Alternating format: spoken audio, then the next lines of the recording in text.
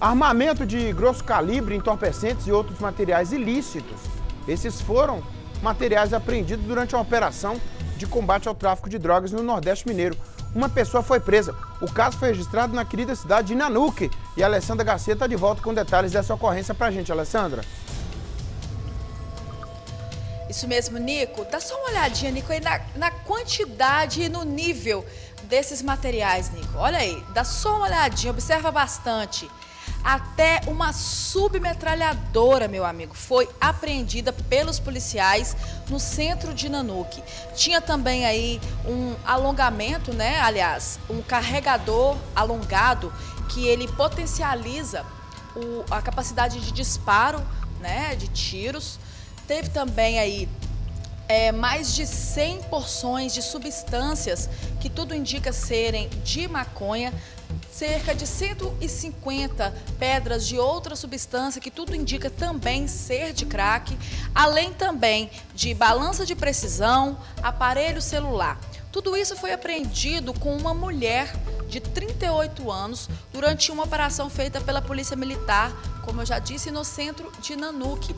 Um outro homem suspeito também de estar comercializando as drogas junto com essa mulher fugiu assim que viu a polícia, fugiu pulando o muro e agora está foragido. Essa mulher foi presa por suspeita de tráfico de drogas e também por porte ilegal de arma de fogo e está agora à disposição da justiça. Nico. É, olha lá. Quantidade de coisa, ó. Tem até dinheiro estrangeiro ali, eu vi dólar americano, vi uma outra moeda lá que eu não reconheci. Se é dólar australiano, né? É, lá. Ó.